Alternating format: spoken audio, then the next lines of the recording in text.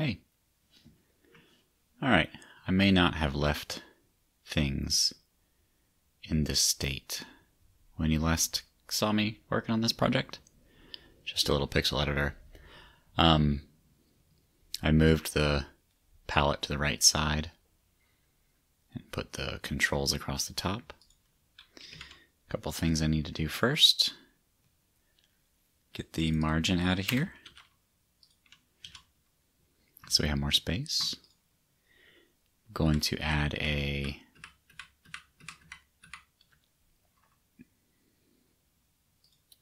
primary and secondary color.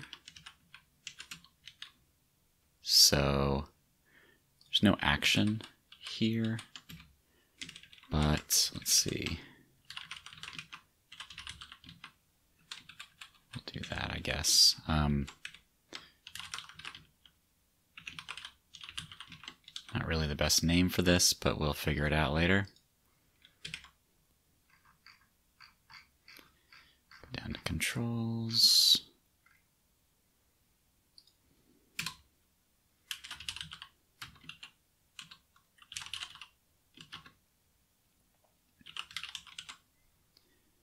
All right, and controls is has two more items in it now. I forget the right way to do this, but there's a way to make it just autofill. I can't remember how to do that right now, so we'll just do this. I don't want to take time to look it up and waste your time. So show grid shows the grid over there. Um,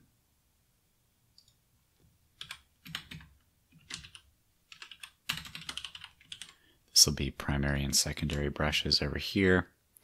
And I will set the um, I'll do that. I'll set the ID.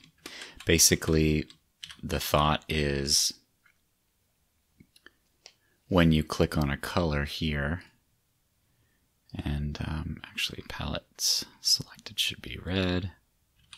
Oops. Come on.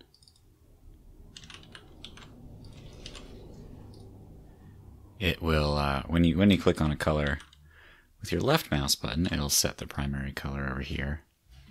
And if you click on it with the right mouse button,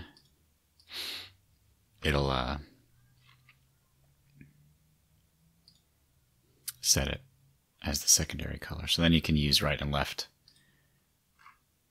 to draw with. All right, so pretty sure mouse down works for either. Uh, click has palette, so I don't remember how to get the uh, mouse button that was clicked, but let's refresh.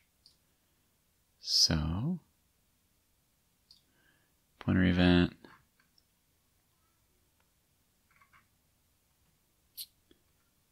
Button.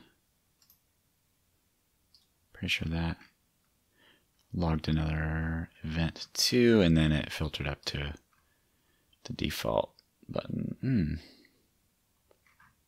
That's weird.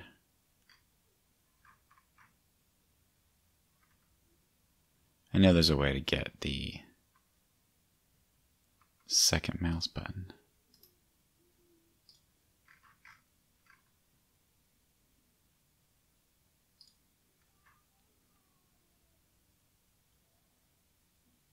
That's odd. I could have swore. Uh, let's see. I don't see it right there.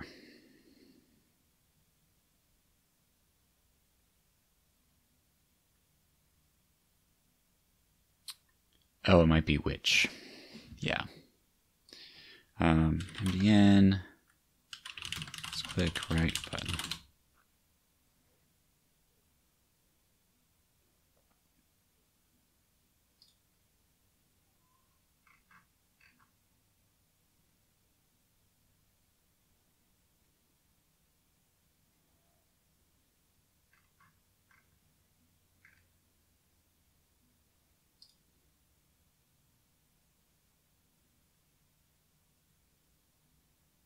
Okay, so it should be the right button. Okay, so this is click on a palette. So let's see. If e dot button equals 2,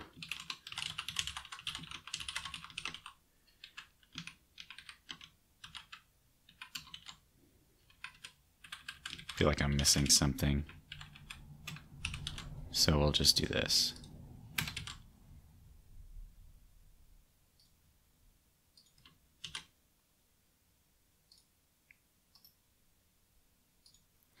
Probably need to do like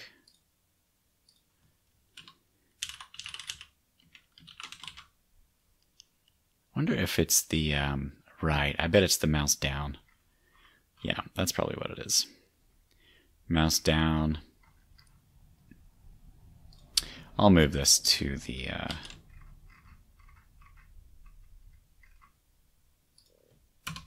mouse down. Right, mouse down is probably the thing that's bubbling up, thus triggering the triggering the context menu.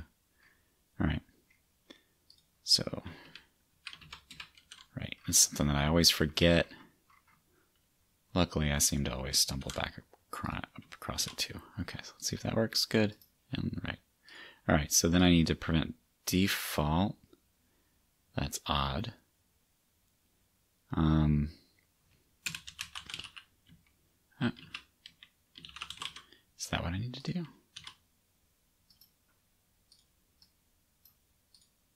Why is that not working? Could have swore that was the way that you prevented the context menu. Um,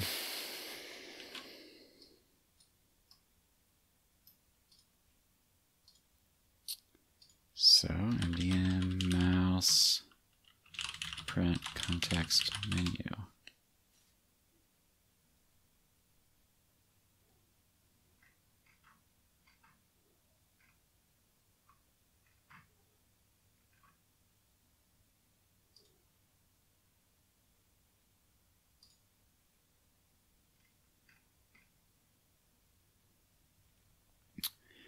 All right, I guess. Don't do it. Um, well, I do want to do it, but only for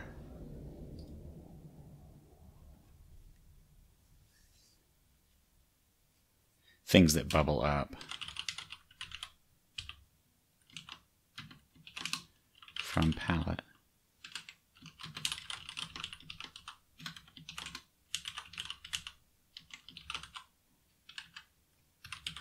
See if that helps.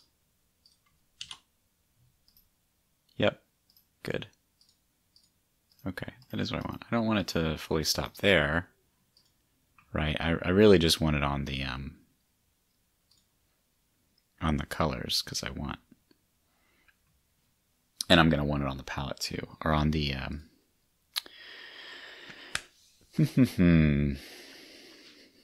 on pixels. So I'll just go ahead and add it there.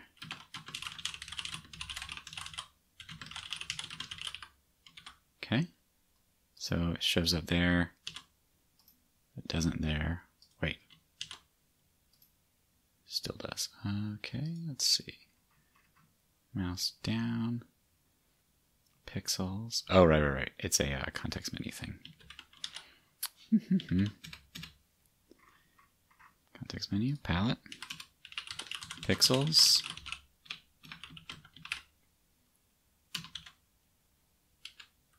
Okay, that should do it. Good. Okay. So, all right. Now what I want to do is uh, mouse down on the palette should set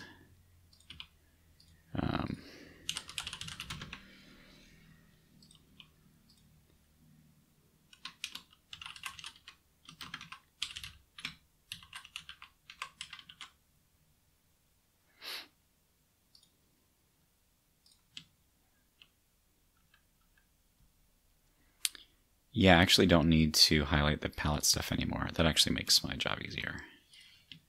Good. So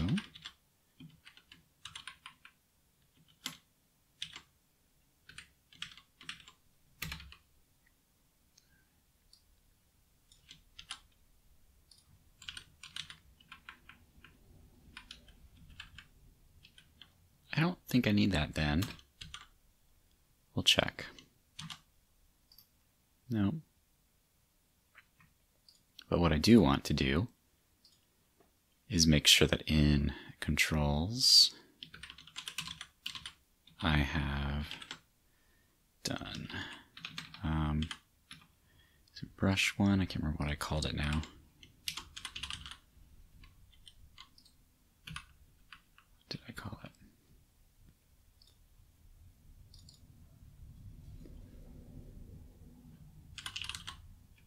We'll do brush one, brush two? Sure.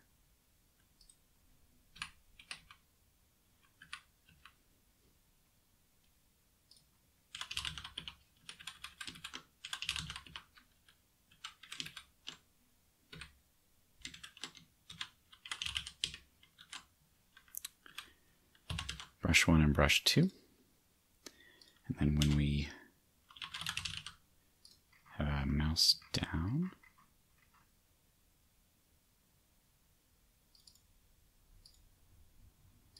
I need to probably call that brush one, brush two, or color one, cursor color one. Yeah, this is kind of wrong. Um,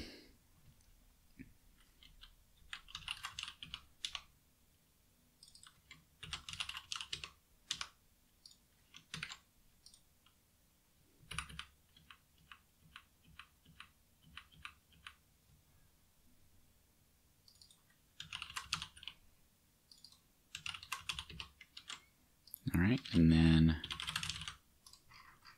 make the handlers actually change. Okay, so that's that.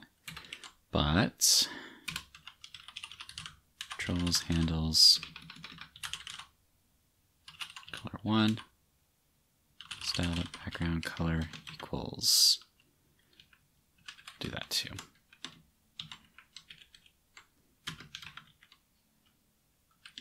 I think I can do multiple assignment. JavaScript. Sty. A sty.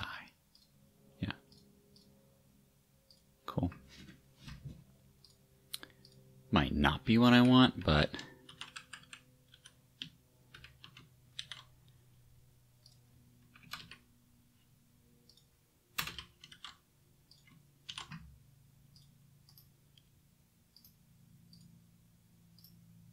All right, now when I do mouse down in pixels,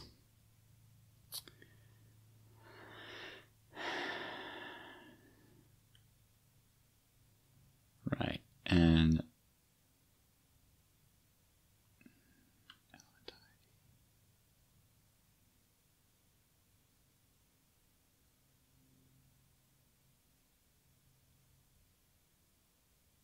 that's odd. Okay.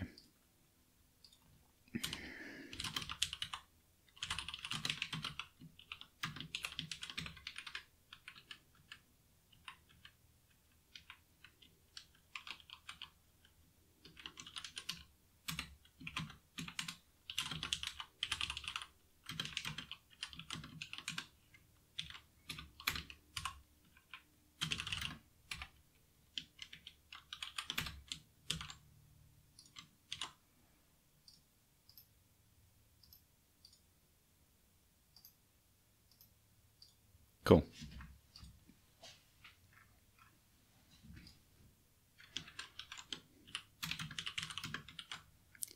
That works. I forget what I was thinking here. So this is parent node.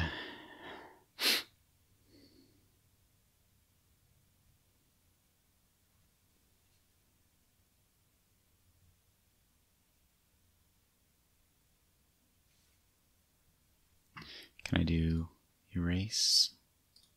Yeah, okay. Yeah, I don't think I need this. It doesn't make any sense really.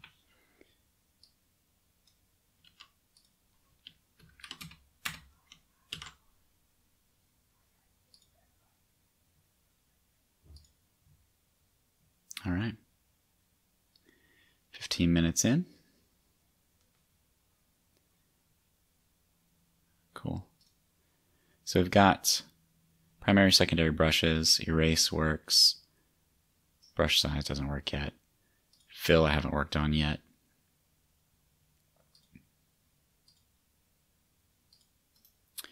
Did my selection go away? Yeah, that's crazy. Okay.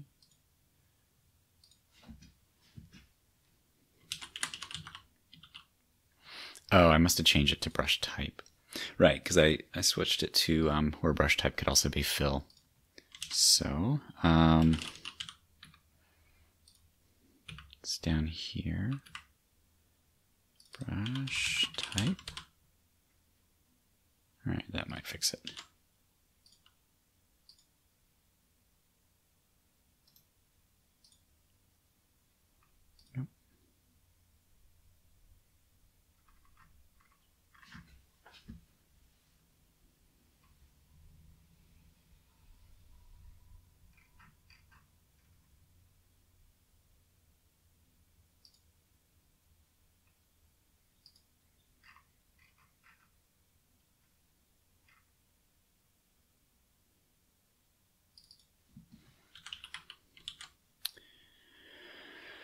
Did I call a function?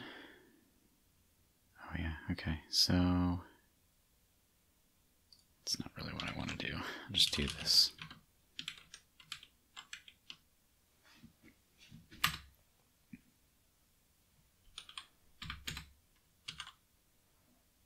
Hmm.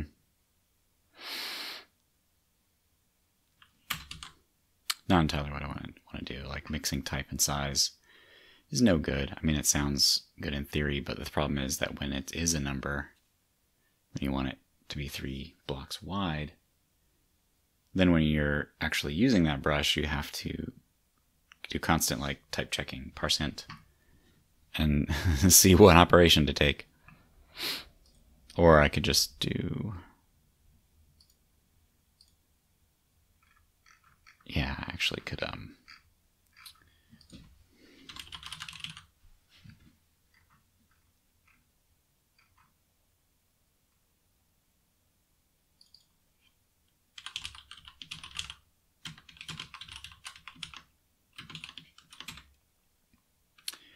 Right. And if it was not fill, then do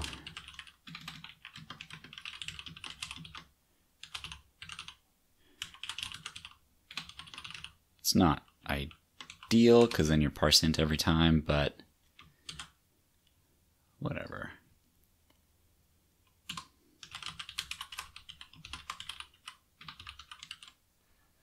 See what that does.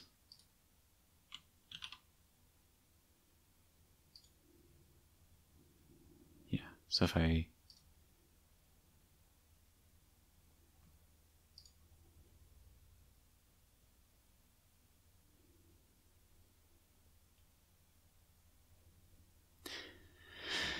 Right, I um did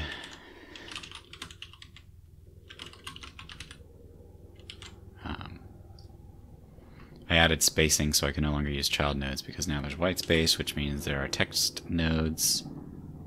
There we go. Okay. So I had to go back to query selector all just to find the other siblings.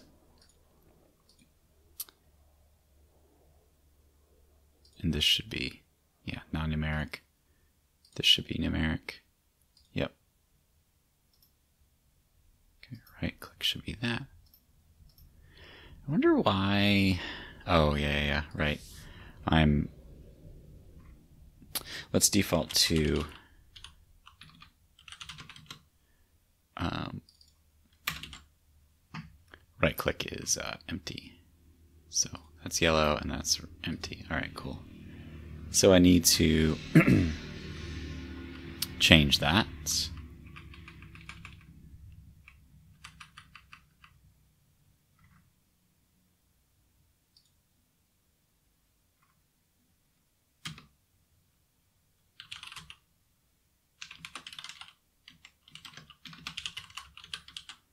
All right. Good. Now that represents what I was planning on doing. Cool. A little quirky but it works. Getting there. I, what I really want is for this, these items to grow with the amount of space. and I want them to be square. And I want this grid to grow with the amount of space too. Um, ideally, be smaller since we don't have vertical space. The idea is like I want this grid to fit in whatever viewport we have. Um, I kind of used this on a touchscreen laptop last night, and I'm trying to figure out the right sizing so that you can have your colors over here. And actually, this is too many colors. So I need to look up real quick how to just specify number of columns and have it do auto width or like, you know, fit the width where each one is equal. That's what I want with this grid. But I'll look at that up. Look that up and do it next time. See ya.